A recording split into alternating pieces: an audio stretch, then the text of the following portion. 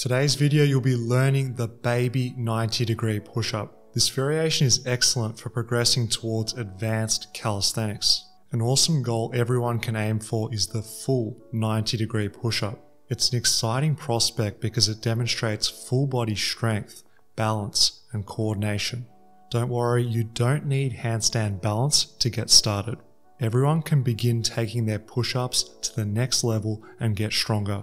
Check out this Fitness FAQs video and let's master calisthenics together. Okay, let's jump straight in and discuss all things technique. I personally like to set up shoulder width apart. This tucked elbow position builds specific strength for the real thing. What's most important is strict form when lowering down through the push up. Because we're using parallettes and elevated feet, we need to respect the depth. Keep your upper body on tension. Do this by hovering the shoulders above hand height. The arms are going to be bent around 90 degrees. Next, and equally important, is range of motion and specificity. The benefits from this exercise are only gained when maximizing forward shoulder translation. When in the bottom of the push up, keep leaning until the hands are level with your waist. This range of motion replicates the demands of real 90 degree push ups. This is a requirement for specific strength gain. When returning from the deep push up, don't let the head drop down too much. We want to stay on tension and teach the body to become strong above ground height. In order to ingrain good habits, keep a neutral lumbar and avoid arching the lower back.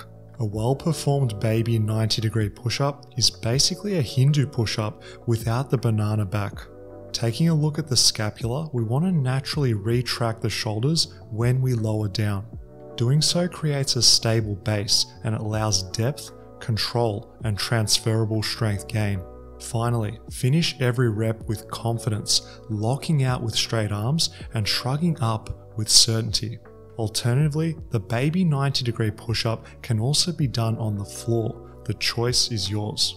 Simply turn the wrist outwards to make this one comfortable and useful. Because we don't have to worry about balancing, there's no excuse for subpar form. Regardless of setup, promise yourself to control every aspect of technique throughout range. Use a consistent tempo when lowering to capture strength through every centimeter. A momentary pause at end range solidifies strength gain where it matters. Lastly, you want to aggressively push overhead in order to replicate the neural output which is required for successful 90s. We want to build good habits in training because this makes our life so much easier for future progression. For those of you that are ready for a slight challenge, try hovering. At the bottom of each rep, throw in a static hold using upper body strength. This small intensity modifier is going to help decrease the strength deficit between the baby and the real thing. Here's a few benefits you're going to reap by training this variation. Bent arm scapular strength. You should expect to increase scapular stability through a large range of motion. The movement pattern complexity is quite unique. Don't worry, you're regressing in order to progress. Horizontal to vertical pushing prowess. The pushing muscles, including the delts, pecs, and triceps, are going to be challenged to grow bigger and stronger. We're building that def functional hypertrophy and strength for calisthenics mastery. 90 degree push up specificity, you're going to enjoy increased kinesthetic awareness for coordinating the unity between our body parts. You'll develop a greater understanding of body position in space, including successful timing throughout. Because we're interested in a bodyweight strength goal, the training intensity and rep range must match.